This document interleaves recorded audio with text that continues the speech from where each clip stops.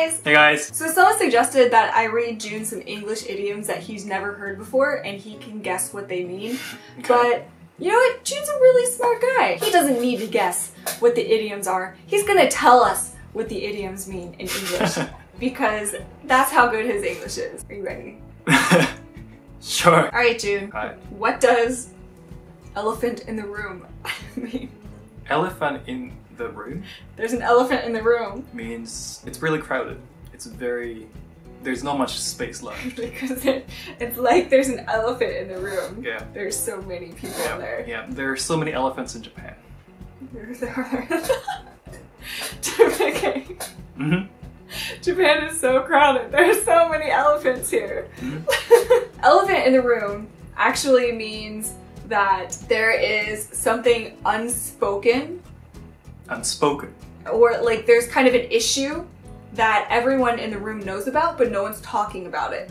So there's like a big issue but they're ignoring it. Supposedly it came from a dude named Ivan Andreevich Andreevich Kirillov. Sounds Russian. Kirillov sounds maybe a Russian dude who wrote a story about a guy who went to a museum Mhm. and he saw all sorts of tiny things there, but he didn't notice that there was an actual elephant there. So, for example, let's say that half of my family voted for Donald Trump and half of my family voted for Hillary Clinton. Okay. And then after the election, Donald Trump won. Half of my family is extremely angry at the other half of my family, okay. but no one's talking about it. So everyone's just sitting at the dinner table. So I, bought, I that- bought flowers on sale today. Oh yeah, right. But really, in their mind, they're all thinking, "You did this to us. This is your fault." Yeah, but are they doing that so that they, they don't ruin the atmosphere?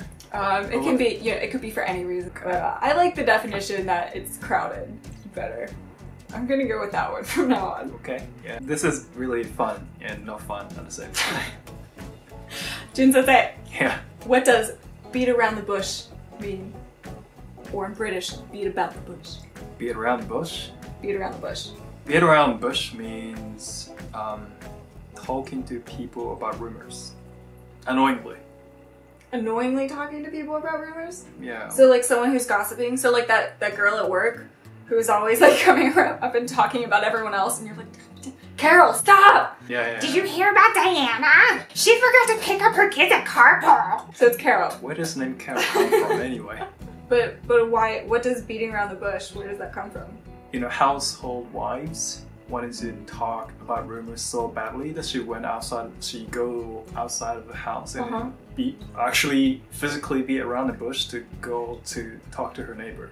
Why, why can't she just walk around? Like why can't she go up to the driveway and just walk over? Um, the person she wanted, the housewife wanted to talk to, was in in the yard. Okay. That, that was surrounded by bush. So like Joanne's just chilling by her pool, and then Carol like pops out from the bushes. hmm Joanna, Did you hear about Diane? okay, so um, beat around the bush actually means to like avoid answering a question, to stall, like waste time. So let's say you have to go to a business meeting and everyone needs to solve an issue, but then people just start talking about unrelated stuff. Mhm. So they're beating around the bush. They're not getting to the root of the problem that they got to solve. This came from, um, I guess back in the day, some people would like uh, to do bird hunting. If the bird was in a bush, they would go and actually beat the bush to get the bird to come out. Alright. And that was kind of like the prelude to actually being able to hunt. So before they could actually hunt the bird, they had to like beat the bush and get the bird out. So Alright. apparently that that's how that came about. Okay, Jun. Yeah. Maybe you know this one, Jun Sensei. Okay. Well, I mean, of course you know that. He knows all of these. What does sleep with the fishes mean?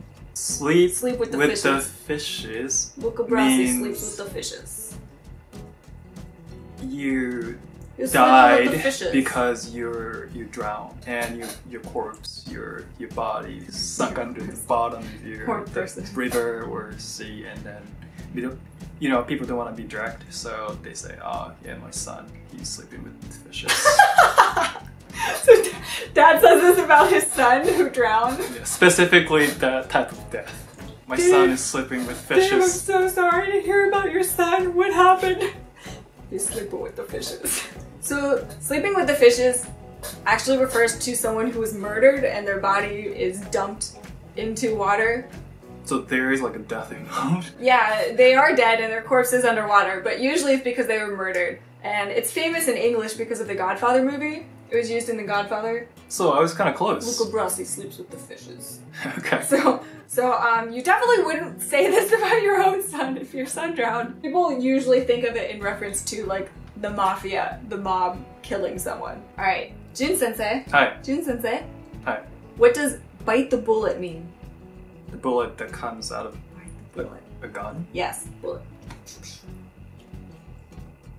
Um, it means do something painful or do something painful patiently. Patiently do something painful. Yeah.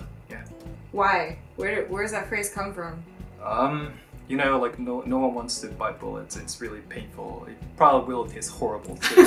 so this used to be um, one of the punishments they used Uh-huh. to do back in 18th centuries in America. Uh, Okay, 18th century America, people used to fight. So, like, what kind of punishment? Like, if a kid broke their parents' lamp or something, dad's like, all right, go bite this bullet out. That's It, your it, it's it's going to look very very serious. Dad will you know draw a gun from his door and then show the gun and then open the gun revolver and then get some bullets and then he's gonna say anything. Just you know make, this. make the kid bite a Yeah. bullet. Yeah. Well, it's kind of, kind of close. Oh yeah. So, bite the bullet means to endure something patiently. Okay. and it can be something painful as well. But um, these days, it's probably just it's mostly just something you really don't want to do, but you just gotta bite the bullet and go do it. But that's how And- you use it. Yeah, and the origin is from back in the day when they didn't have like anesthesia for when you had to have surgery or something had to happen, and so they gave you a bullet to bite down on so you could clench your teeth while you were being operated on.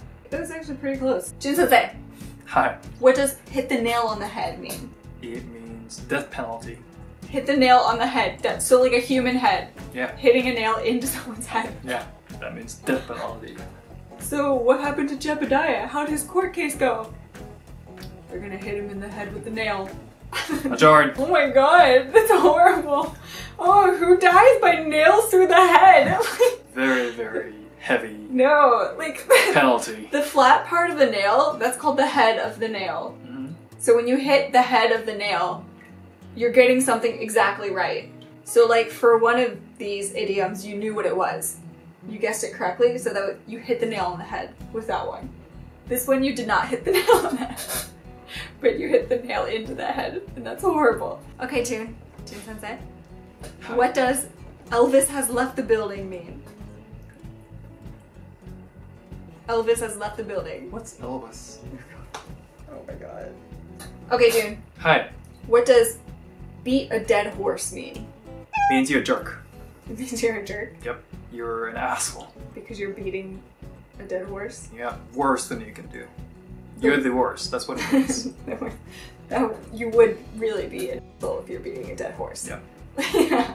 So the term dead horse actually used to mean something of no value. So beating a dead horse is a phrase that means you're wasting time doing something that's already been done. So let's say okay, I got it. So let's say you have an argument with someone and you try to convince them that you're right and then you you give up. You're done. And then someone else comes over and starts having the same argument. You'd be like, "Oh, don't bother. You're beating a dead horse." Because you already tried that, it didn't work. Okay. Here's something straight from the horse's mouth. An idiot.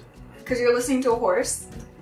the horse told me to hear to hear something from the horse's mouth means you're hearing something um, from the authoritative source. So the person who is authorized to speak on the subject. Sounds like there's so many idioms about like Horses. related to horses.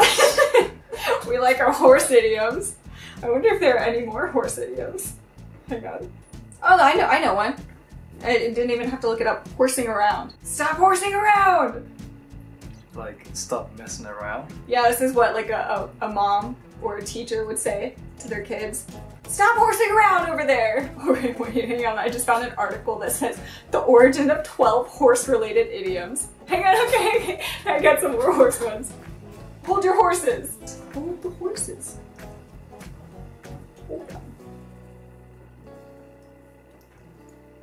That means we Americans love horses. Hold your horses means we love horses because I'm holding a, a- like a little baby horse. Baby horsey. I think they're bigger. baby horsey. Um, Does it mean anything? yeah, yeah. This one's really common. oh yeah. Hold your horses means like hang on, just wait, like stop, like just wait a minute. Uh, it means someone's like rushing or they A really whole. Oh, okay. Sorry. someone wants to do something quickly. Sorry, I got it. Uh huh. So uh, I think that's enough for horse idioms.